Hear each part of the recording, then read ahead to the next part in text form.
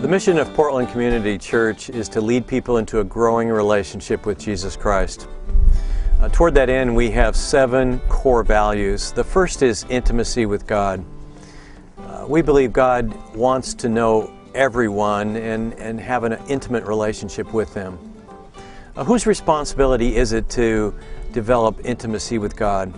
Often church leaders have felt like it's their responsibility, and so they add this program and that uh, to help people grow closer to God. But ultimately, the individual is the only one who can develop intimacy with God.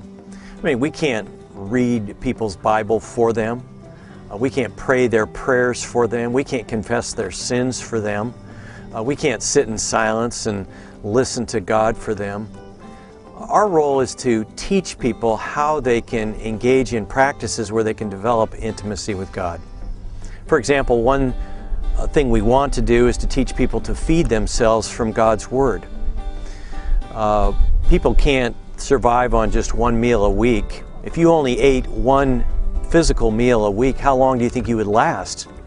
Yet many people come to church on Sunday and they haven't cracked their Bible the entire week and they're expecting to survive on one meal a week.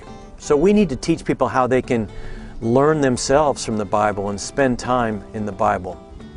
It's normal to have a nine month old sit in a high chair and you spoon feed that person, but it's not normal for a 12 year old or 14 year old to still be uh, being fed by uh, a mother or a father. And so we want to teach people how they can feed themselves uh, from God's Word and develop intimacy with God.